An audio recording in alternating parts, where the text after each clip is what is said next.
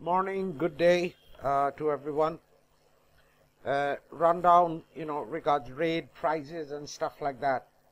Now we've got four targets in this raid. That is uh, July 2023. Um, from the deep.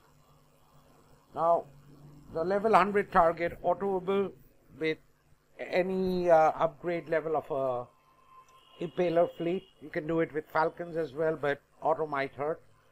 Um, let's stick to the impalers. U3 X1 fleet maybe what 7 to 12 minutes repair on auto. Pathing is sorted so you do not go through clouds. The yellow clouds in every kind of uh, target we've seen over the years hurts super bad. Now 101 500 on drive you can get instant map repair or 15 to 20 minutes which would be instant base repair for both of these targets. Slightly more if one makes mistake.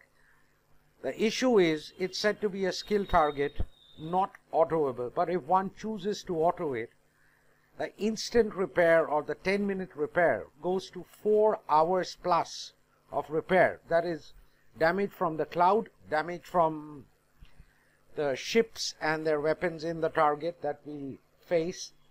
This disparity in auto and drive is way, way too much, especially when you got to get like anything between 40 to 60 million points or even more. You got to drive to hundreds of targets. So the as a player, what I see, the think process is push the player base to either put in seat time, which become near impossible because of real life constraints, work, family, and other issues related to real life, or push them to blitz. We make one target which can be autoed for low damage. The others you can auto it, but the fleet will get trashed with over 60% repair if you auto it. So you can do one and you coin or you blitz. That's where the game is headed now with every PvE event. 100 and uh, 100 is okay. Now 101, 500, the same issue uh, with X1 fleets. Uh, first raid of its type, you go with U3, you get okay damage. X1, you can get a few boats X1 or you get a deal and get your whole fleet X1. That's a choice. So my issue is the targets. If they want to make the auto hurt, keep it reasonable. Not that you lose 60% of your fleet in one target if you auto it. Uh, 100 auto is 10 minutes repair. 101 auto, even if it's an hour and a half, that's acceptable. But it's 4 hours plus to auto uh, 101 with a U3 X1 fleet as I've checked, mixed. X1 fleet will just be the same, about 4 hours. The 600, it's a Fenrir target. Uh, time to kill can get a little high. You can get instant repair on it or maybe about 8 minutes, 10 minutes repair if one drives carefully. But again, auto is 4 hours plus repair. Again, that huge disparity. So basically, you can auto one target for reasonable damage. The rest you either blitz or you drive. Extreme options, extreme difference in damage between the auto and uh, the drive aspect. This is something that people have complained and another thing is this scroll bar at the side. I do not know why management devs please like you guys are not able to look into the coding to change this. You do not have the know-how how to do it or you just don't want to do it because it's pretty screwed up uh, with, especially with people with a bad eyesight, when you go into the prizes, this becomes even smaller. And at times you scroll to something, you stop, and it moves back up again, which is really messed up. It causes a lot of problems. For years, people have complained about this, but nothing gets done because you just can't, I guess. Now, prizes again, Shadow Impaler upgrade kit. It's the fleet in use, understandable uh, 1.25 mil for 50 but if you go down to older fleets like uh, uh, Gambit 500k. Gambit is not even in use anymore. Then uh, Pangolin. No one uses a Pangolin. It's useless as a defender. 1.25 mil for that. Obliterators, you can use it in some TLCs, but people would prefer to use the Dagger Spine. Stronger, better fleets. 1.25 mil again. Winterfang upgrade kits. I mean, who the fuck uses a Winterfang?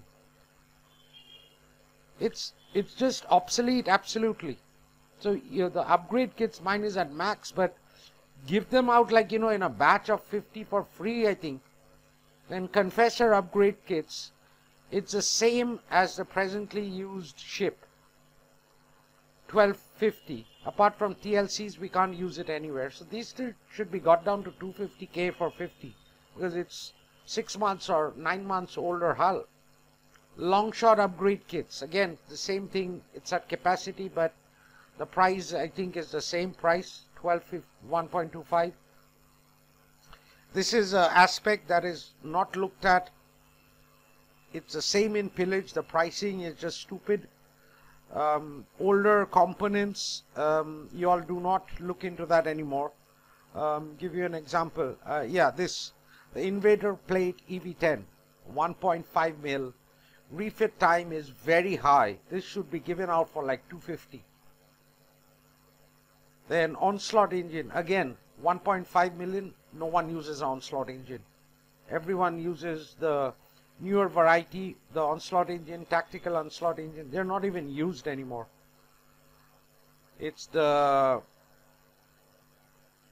turbocharged engine that is in play now.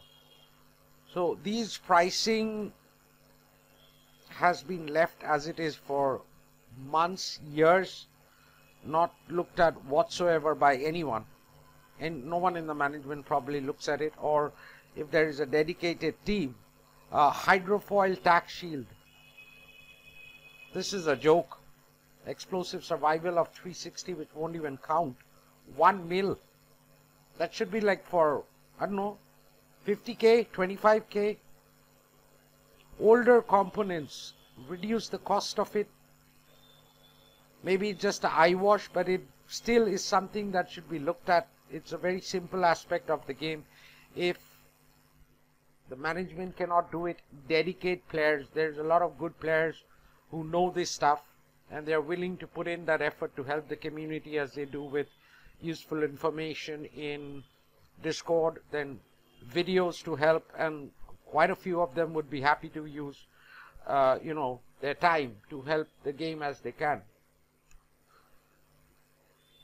So, and uh, the same, I think the issue goes into the hull store as well. Like uh, Shadow Impaler, you're paying 6 mil for it, which is understandable, or a horror. But if you go into older hulls, um, like a Komodo, yeah, this is pretty okay, 2 mil, but no one will use a Komodo. It's useless. Pangolin, Komodo, give them out for 200k or 20k. They're absolutely useless. A Pangolin, what does it do in a base? Nothing. So, no idea why these are not looked at. But the primary issue remains is the target damage, which um, the management has completely failed in doing anything to help the player base. It is obviously a very, very deliberate attempt to push people into blitzing and coining. And if you guys feel that this is helping the profits per quarter uh, or every three months or two months, well, I guess then this should be kept because you guys are losing players. There is a lot of good players who are leaving the game because they fall behind and the frustration creeps in of having to wait for people to prep for them.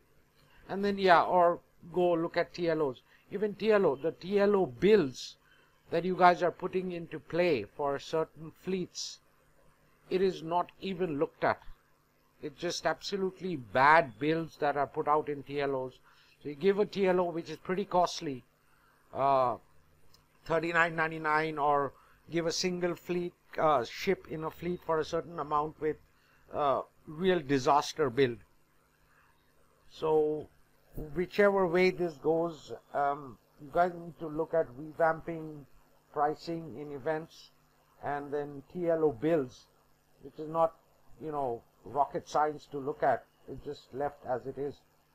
So it just, uh, I thought I would make this video which in some way might help or if I put it through at feedback, I'll put it on a page where players can have a look at it. I'm going to pass it to the CM, to devs, and people who in KIXEYE would be around to help or pass it along to management product line. But my call is that it'll just be taken, thank you said, and it won't be looked at. And if it's looked at, nothing will get done. If it something is going to get done, we have pillage upcoming. Let's see you make a change in the pillage. So with that, once again, have a nice day and uh, stay safe and stay healthy, everyone. Agni out.